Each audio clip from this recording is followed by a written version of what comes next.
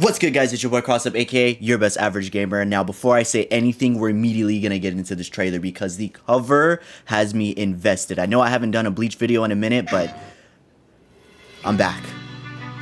Coming early 2025.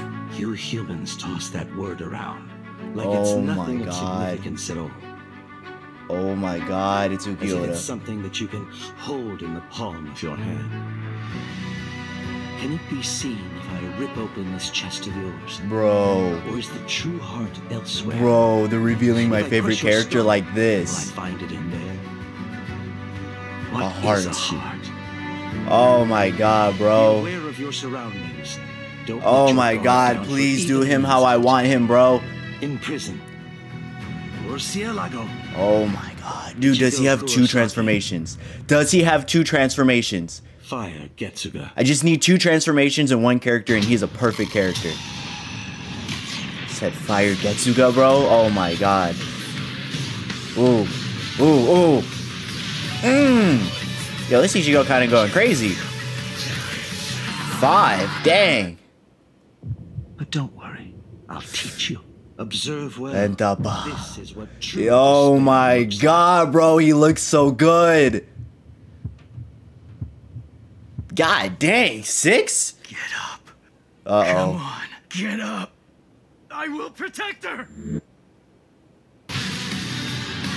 Bro, bro, bro, bro, come on. No, no, no. What about the gameplay? What about the gameplay? No, no. Wait.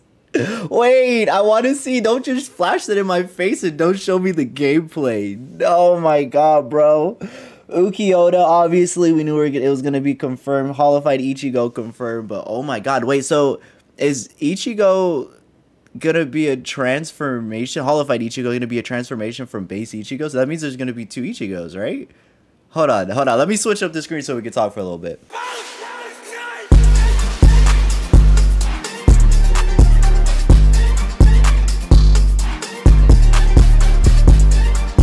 Now, I can't 100% say if this is the best trailer that came out for Bleach because I've been away from doing Bleach content for a good second. So I'm going to be coming back to rewatching some of the trailers that I missed. So you guys keep an eye out for that. So make sure to like, subscribe, and hit the post notification so you guys can be notified because I am going to be coming back on Bleach like full time. That and Sparking Zero. Uh, I'm putting Wukong to the side because not a lot of people are watching it, which I'm a little sad about because I was ready to get fully invested into it and like push out as much as I could.